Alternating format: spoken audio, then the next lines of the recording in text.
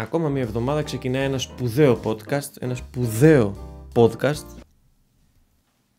Συνεχίζω σε μου της προηγούμενης εβδομάδας. Ε, να ευχαριστήσω για το ότι δείξατε έτσι μια, ένα περισσότερο, μια μεγαλύτερη στήριξη στο προηγούμενο βίντεο της εβδομάδας που μας πέρασε με τα παλτά που πέρασαν από την ΑΕΚ. Μου έχετε γράψει πολλούς που όχι τους ξέχασα τους περισσότερους απλά δεν μπορούσα να τους βάλω. Και από ό,τι φαίνεται θα κάνουμε και δεύτερο και τρίτο part Ειδικά Παναθηναϊκό Ολυμπιακό νομίζω 350 part μπορείς να κάνεις. Μόνο και με, με χρονιά μπορείς να το πας. Άρα θα έρχονται και αυτά τα βίντεο ένα διαστήματα. Δεν θα είναι κάθε εβδομάδα, μην, μην κόσουμε κιόλας, αλλά θα έρχονται. Σε αυτή την εβδομάδα θα είναι πιο χαλαρά τα πράγματα. Θα μιλήσουμε για δύο-τρία πράγματα που με απασχόλησαν και ίσως κάποιοι σας ενδιαφέρουν. Οπότε πάμε πρώτα στο χορηγού αυτού του βίντεο και συνεχίζουμε. Αγαπημένοι φίλοι και αγαπημένες φίλες, και αυτή την εβδομάδα, όχι και αυτή γιατί την προηγούμενη δεν είχε, χορηγός είναι η Λεόν. Τι είναι η Λεόν, είναι ένα site το οποίο μπορείς να μπεις, να βάλεις χρήματα και να παίξεις. Τώρα θα σου πει κάποιος ότι μπορεί να κερδίσεις. Εγώ θα σου πω ότι κυρίως θα παίξεις. Τώρα το αν θα κερδίσεις, αν θα χάσεις, νομίζω αν κερδίζατε δεν θα έβγαινε κιόλας να το κάνουν. Ξέρω εγώ. Ωστόσο, αν είσαι παίχτη, είσαι παίχτη, είσαι τζογαδόρος, μπορείς να μπεις και να παίξεις γιατί υπάρχει πληθώρα επιλογών πουλουχέριδων και διάφορων άλλων παιχνίων που σε κάνουν να, ξέρω, να γουστάρεις. Ωστόσο, μέσα σε αυτή την πληθώρα υπάρχει ένα link κάτω στην περιγραφή που από μένα μπορείς να πάρεις, ας πούμε, ένα κωδικό και ένα ψιψιψιόνι και να έχεις μέχρι 1500 ευρώ μπόνους στην πρώτη σου κατάθεση. Είμαστε εντάξει με αυτό. Μπορούμε να συνεχίσουμε τη ζωή μας και να πάμε στο βίντεο. Πάμε στο βίντεο.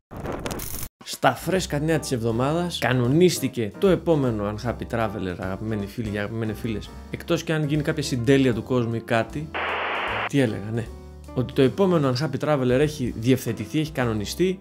Θα γυριστεί στα μέσα του Μαρτίου προς τέλη και νομίζω ότι στις αρχές του Απρίλη, αν όχι τέλη Μάρτη, θα το έχετε, μάλλον αρχές Απρίλη, μην είμαι πολύ αισιόδοξος. Λάβει τόπο στην Ιρλανδία και τυχαία είδα ότι θα είναι και το St. Patrick's Day εκείνη την ημέρα στην Ιρλανδία και το concept είναι το εξής. Ταξιδεύω solo, θα νοικιάσω ένα μάξι και θα προσπαθήσω να γυρίσω τη χώρα. Επίσης, εσείς που έχετε, που έχετε το νοικιάζετε σπίτια στο Δουβλίνο 60 και 70 ευρώ, αλλά την ημέρα του St. Patrick's Day τα ίδια τα έχετε 200, ενώ την άλλη μέρα τα έχετε πάλι 60 και 70, γαμώ τις οικογένειές σας. Ευχαριστώ πάρα πολύ. Αυτό έχω να πω. Είμαι σε διαδικασία έρευνας πώς να το κάνω, πού να γυρίσω, ποιους δρόμους. Με φοβίζει απίστευτα ότι πρώτη φορά θα οδηγήσω δεξιοτήμονο και δεν, ε, και δεν ξέρω τώρα. Η ταχύτητα είναι αριστερά φάση. Να πάω να πάρω αυτόματο, να μην έχω το νου μου και στις ταχύτητες και το πώς θα μπαίνω. Γιατί είναι το πώς θα ξεχαστείς. Δηλαδή τώρα αυτό που είναι το πιο τρομακτικό είναι ότι στη, στην, στην εθνική εντάξει, Klein, ξέρω εγώ. Άντε, πες το δρόμο, αν δεν είναι σε πόλη με κίνηση, πάει, πας στο διάλογο, θα το βρεις. Θα ακολουθάς τους άλλους σε κανένα κυκλικό κόμβο μέσα σε καμιά επαρχία και πας και μπεις από δεξιά όπως μπαίνουμε εμείς και μπερδευτείς, ενώ πρέπει να μπαίνεις από αριστερά, αυτά με φοβίζουν. Στη χειρότερη θα δείτε, αν δεν δείτε κάποιο content από εκεί, ή πέθανα ή είμαι φυλακή γιατί κατέστρεψα ένα μάξι στην Ιρλανδία. Τα πράγματα τα οποία παρακολούθησα όμως, θα τα βγάλω επειδή δεν μπορώ να τα βλέπω όλα κίτρινα και δεν είμαι ΑΕΚ. Από τα πράγματα που παρακολούθησα το τελευταίο διάστημα είναι το Poor Things του Λάνθιμου που γίνεται ένας αματάς, ένας πανικός και έχω να πω τα εξής. Μου άρεσε το Poor Things, δεν θα πω ότι δεν μου άρεσε. Δεν μου άρεσαν οι ταινίες του Λάνθιμου, έχω δει τις περισσότερες. Το favorite ήταν ok, αλλά ναι, δεν θα ξαναπήγαινα ποτέ να το δω, ούτε θα το ξανάβαζα να το πετύχαινα κάπου να το δω. Το, τα πριν το Lobster δεν, δεν, δεν ακουμπιούνται καν, δηλαδή θα, δεν μου άρεσαν, ούτε σκηνοθετικά ούτε τίποτα. Το Poor Things δεν έχει καμία σχέση. Δηλαδή από όλες του τις ταινίες είναι η πιο σοβαρή από την άποψη ότι τεχνικά είχε πράγματα τα οποία ήταν, λες πω, είναι πάρα πολύ ωραία γυρισμένο. Είχε πολύ ωραία δεμένη μουσική. Είχε καλούς ηθοποιούς οι οποίοι έπαιζαν εξαιρετικά. Και ήταν και μια ιστορία η οποία ήταν από ένα βιβλίο, οπότε Klein Mine έκανε μια ωραία διασκευή στο σενάριο και βγήκε προς τα έξω ωραία. Ναι, το έχω ξαναδεί το έργο στη Λάμψη, με το Σελήνη αγαπάει ο Χόχο, με το Γιάνγκο Δράκο, βεβαίως. Ναι, για για μένα θα μπορούσε να έχει πάρει κάποια μαθήματα από την Ελένη την Κούρκουλα και γιατί όχι αυτό να τις χρησιμεύσει και στις επόμενες έτσι, στιγμές της ζωής της και ε, στάδια της ζωής της γιατί η Ελένη Κούρκουλα πήρε και το Υπουργείο της μετά ζωάρα τώρα μια χαρά Εντάξει, δεν είναι μια χαρά, νομίζω έχει κάτι προβλήματα υγείας, αλλά έκανε βήματα. Βέβαια δεν νομίζω να πήρε από το φως κολόσα θα πήρε η άλλη από το Λάνθιμ και από το Hollywood, αλλά ούτε αυτό έχει σημασία. Σημασία έχει ότι ήταν μια ωραία ταινία. Σας προτείνω να τη δείτε. Θα σας πρότεινα να μην τη δείτε αν είστε, ξέρω εγώ, με τους γονείς σας δίπλα. Να μην τη δείτε αν είστε με. Είστε, ξέρω εγώ, στο σπίτι της κοπέλας σας, του αγοριού σας, οπουδήποτε, ξέρω εγώ, και είστε με τους γονείς του και λέτε Α, να βάλουμε να δούμε μια ταινία. Βάλουμε να δούμε το Έλληνα, του Λάνθιμου. Για να τη δούμε και έχετε κάτι στον καναπέ. Δεν θα ήταν πολύ ευχάριστο. Εκτός και αν ήσταν Αλαμπάμα. Δεν, δεν κρίνω. Αλλά γενικά δεν θα περνούσατε τόσο ωραία. Μου άρεσε που ο κάθε ένας χαρακτήρας ήταν καλογραμμένος και είχε τη δική του πινελιά ακόμα και στο στιλιστικό και στον τρόπο που έπαιζε και στον τρόπο που ήταν γραμμένος ο χαρακτήρας του, τα στοιχεία του χαρακτήρα, αλλά περισσότερο νομίζω μου άρεσε ο χρωματισμός της ταινίας. Είχε πάρα πολύ ωραία χρώματα, ήταν σαν ένα παραμύθι έτσι λίγο περίεργο, σαν ένα μικρό πρίγκιπα με LSD ας πούμε, κάπως έτσι μου φαινόταν.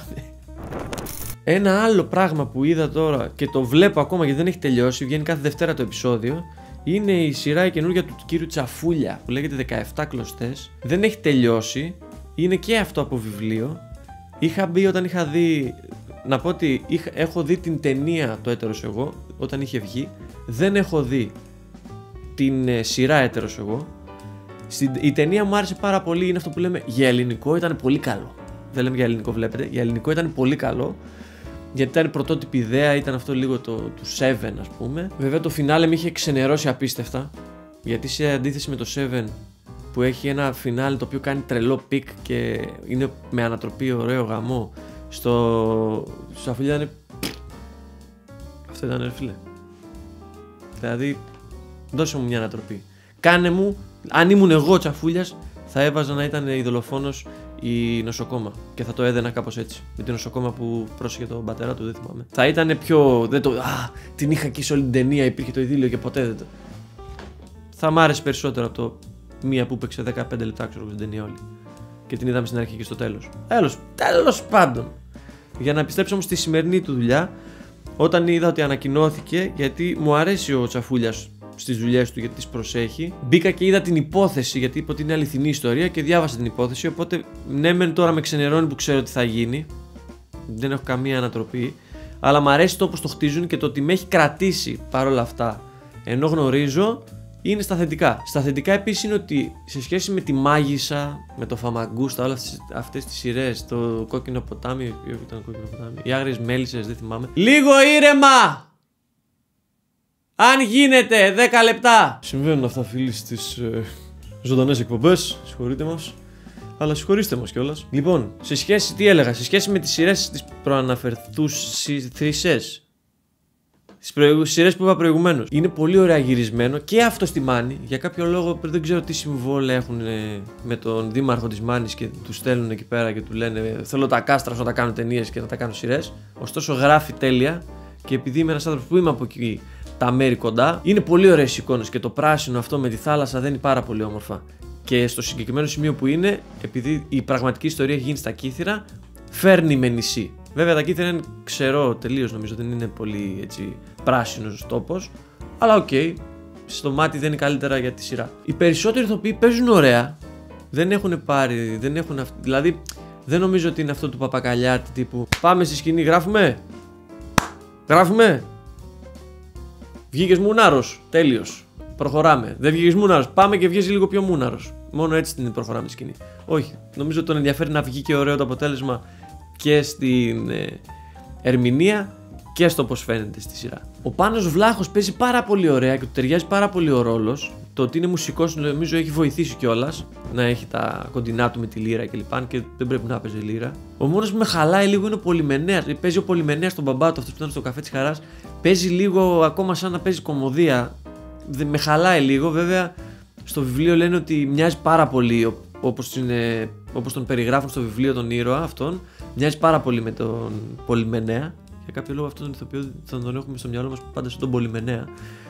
Ε, μου κλωτσάει λίγο, αλλά όχι σε φάση να πω πω, πω πάλι σκηνή με αυτόν. Μια χαρά. Περιμένω εδώ και πώς θα το κλιμακώσει μετά, γιατί έχει πολλά μπρος πίσω σου. Βασικά έχει μπρος πίσω σου, δείχνει και τι έχει γίνει παράλληλα. Το μοντάζ του είναι λίγο έτσι ιδιαίτερο ωραίο. Δεν σε μπερδεύει, καθόλου δεν σε μπερδεύει. Αλλά αν μπορούσα να αλλάξω κάτι σε αυτή τη σειρά, θα ήταν παιδιά ο γραφίστας που έχει κάνει τα γραφικά. Δηλαδή πρέπει να του δώσανε τύπου έχεις ένα απόγευμα φτιάξε μας κάτι εύκολο. Μπαμπαμ γιατί αύριο πρέπει να βγει σειρά και να το πρώτο τρέιλερ ξέρω. Είναι, οι γραμματοσυρές είναι τύπου Arial Black. Ε, Δώσε λίγο κάτι παραπάνω να το δώσει πιο ιδιαίτερο. Ακόμα και το πώς μεταφέρονται τα γράμματα εφόσον είναι κλωστές κλπ. Θα μπορούσε να έχεις κάνεις έτσι ένα, ένα γραφικό ωραίο που να, να πηγαίνει σαν κλωστή τα γράμματα κάπως. Να μην είναι τόσο σαν αυτά που κάνουμε εμείς. Ε, τόσα λεφτά ε, έπαιξε παραγωγή. Δώστε λίγο εκεί παραπάνω εκεί να γίνει δουλίτσα. Ή έστω στη δεύτερη. Αν, α, δεν θα έχει δεύτερη σεζόν, νομίζω είναι mini series. Λέω μαλακίες. Ναι. Στην επόμενη δουλειά, κύριε Τσαφούλια, αν μπορείς, δώσε λίγο παραπάνω έτσι. Μπες ρε παιδί μου στις πλατφόρμες που βλέπεις τις ξένες σειρές, το Crown, το, το, όλες αυτές τις μεγάλες παραγωγές. Να δεις ότι είναι πολύ στάνταρ και πολύ big. Είναι η πρώτη εικόνα που θα δεις. Το εξώφυλλο μιας σειράς, δηλαδή εμείς ξέρουμε ποιος είναι ο Τσαφούλιας και τι μπορεί να σου δώσει. Και θα πεις, θα κάτσω να το δω. Ένας που θα το δει, αν θες να το βγάλεις στο εξωτερικό και δει την πρώτη εικόνα αυτό το πόστερ, δεν νομίζω ότι θα μείνει πολύ εκεί. Θα το προσπεράσει. Παίζει πολύ μεγάλο ρόλο. Είναι όπως τα thumbnail που αναγκαζόμαστε και τα κάνουμε σαν καραγκιόζε στο YouTube λόγω. Τέλος πάντων, δεν θα ανοίξει το θέμα αυτό. Και στη σειρά, αυτό που θα δεις, αν δεν έχεις ιδέα τι είναι αυτό, παίζει ένα ρόλο στο ότι θα σταματήσεις όσο θα πηγαίνεις και θα προχωράς. Ωπ, λες, μου κάνει ένα κλικ αυτό. Αυτό. Ένα άλλο πράγμα που είδα στο Netflix και μου το πρότεινε ένας φίλος στο Instagram και σε ευχαριστώ γιατί πέρασα υπέροχα. Ήμουν άρρωστος και το είδατε λίγο μετά την πρωτοχρονιά. Ήταν ένα ντοκιμαντέρ το οποίο λέγεται Pepsi Where is my jet; Το οποίο σου δείχνει ένα τύπο. Βασικά δείχνει την Pepsi που έχει βγάλει ένα διαφημιστικό γύρω στο 90 κάτι. 90 κάτι, 80 κάτι. Δεν θυμάμαι. Σου εξηγεί ρε παιδί μου ότι πώς ε, παίρνεις πόντους και κερδίζεις δώρα. Τύπου παίρνεις, ε, ξέρω εγώ, 100 πέψη και 100 πόντους πέψη. Παίρνεις ένα μπλουζάκι. Παίρνεις 200, παίρνεις, ξέρω εγώ, ένα ρολόι. Παίρνεις 50, παίρνεις, ξέρω εγώ, μια κονκάρδα.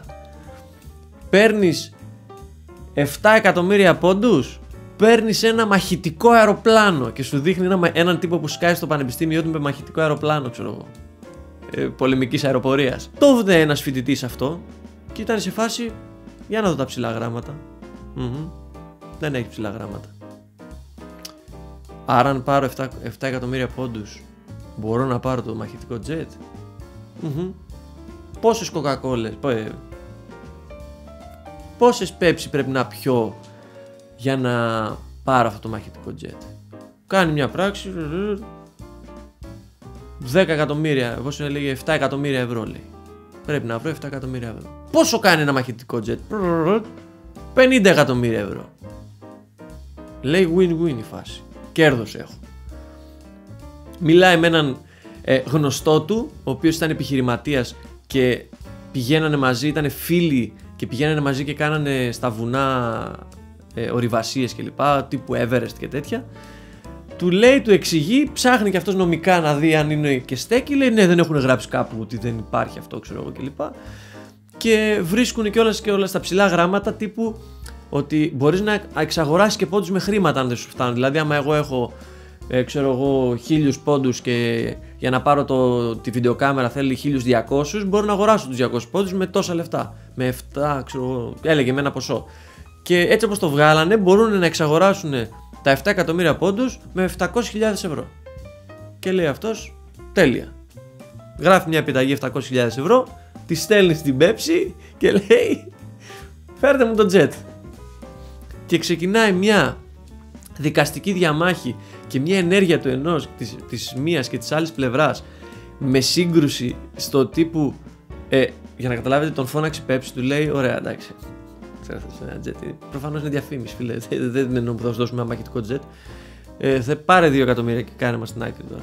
Και είναι αυτός. Θέλω το jet. Δεν θα σας πω πολλά για να μπείτε να το δείτε γιατί έχει πλάκα όντως. Δεν είναι πολλά επεισόδια. Έχει πάρα πολύ πλάκα. Ο τύπος το έχει ψάξει full. Και, και έχει πολύ πλάκα και το τέλος. Τι έγινε. Μην το ψάξετε για να φάτε spoiler το τι έγινε. Δείτε το μέσα από τη σειρά. Σας το προτείνω. Θα περάσουν τρία επεισόδια είναι. Ή τέσσερα πάρα πολύ ωραία. 4, 40 35 λεπτά. Όσοι το δείτε, στείλτε μας να σχολιάσουμε γιατί έχει πολύ πλάκα με τον τύπο. Το πόσο το, τους πήγε τάπα. Και κάπου εδώ θα λάβει τέλος το σημερινό σύντομο podcast. Θα τα πούμε την επόμενη εβδομάδα. Ευχαριστώ ξανά για τη στήριξή σας στο τελευταίο βίντεο και σε αυτό όσοι την κάνετε αφήνοντας σχόλια, likes, κάνοντας donates κάτω στα link που έχω στην περιγραφή και τα σχετικά και θα τα πούμε την επόμενη εβδομάδα. Γεια χαρά. Γεια σας παιδάκια.